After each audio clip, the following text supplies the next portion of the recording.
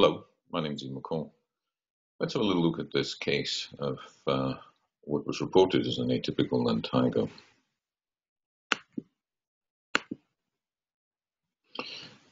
You can see this lesion on a gentleman's uh, temple. It has these little variations of pigmentation within it. This has been slowly growing for about five or six years, and I've looked at it several times before, but really haven't seen any uh, anything to worry me with the dermatoscope. This time I had a look at it, and I wasn't quite so sure. And also, because of this variation in pigmentation, it certainly merited um, another look.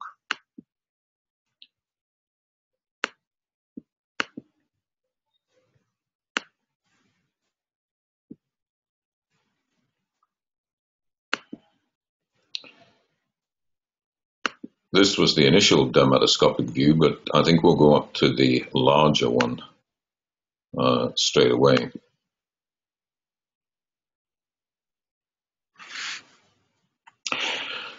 Your differential here, you know, initially one thought this was just a solar lentigo, but the fact that it's been there for so long and it's been slowly growing should have worried it.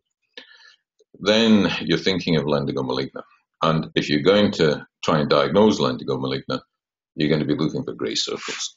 And the issue was, are there any grey circles um, within this? Now, sometimes you'll just get grey partial circles.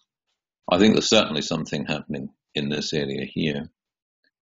I'd really need to enlarge this um, even more, which I'm for, oh well, just a minute, let me just see if we can do this. We can enlarge it a bit. Let's just see if we can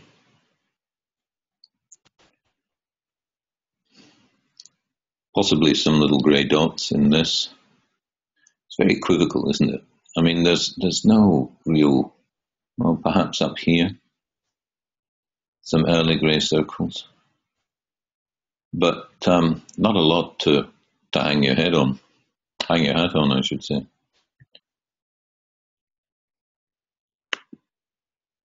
Let's go back and uh,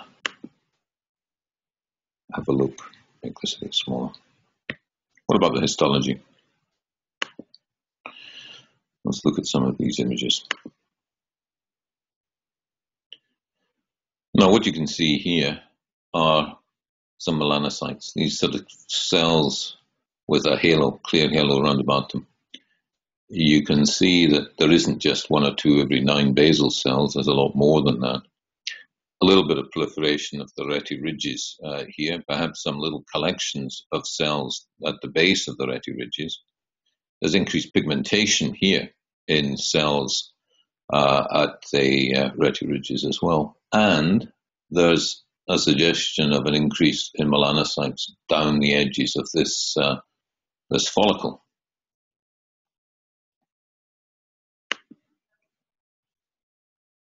What else do we have?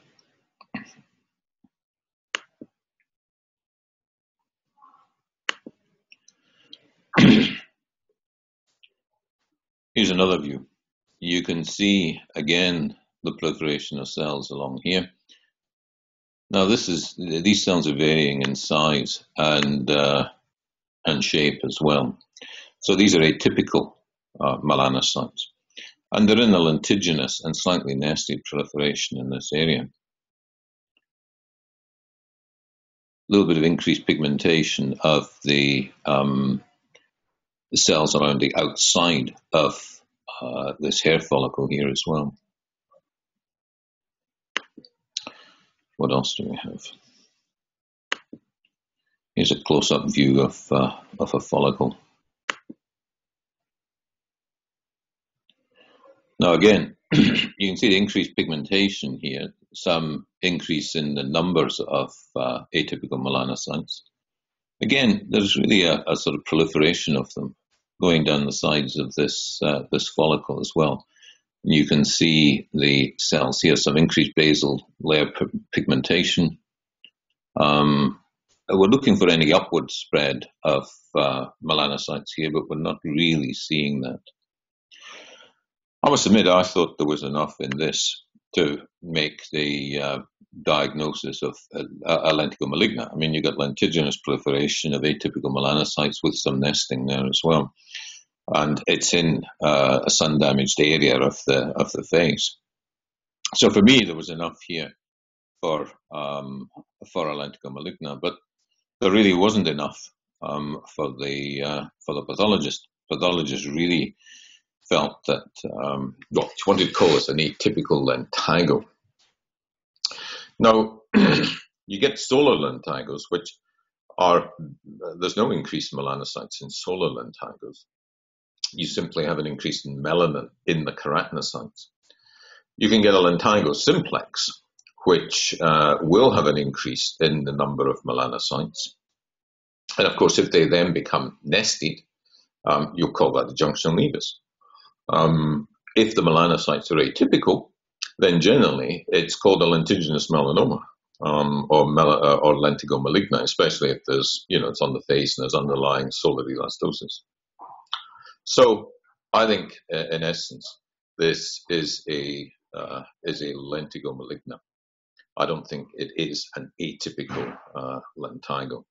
And in point of fact, some, uh, though I haven't shown it here, some atypical melanocytes came to the edge of the shave because we shaved this off. So I think this is going to need re-excised, um, and it's going to need done with probably five millimeter margins, uh, and that'll uh, undoubtedly end up uh, as a flap repair in this particular patient. So it's a difficult area for some pathologists.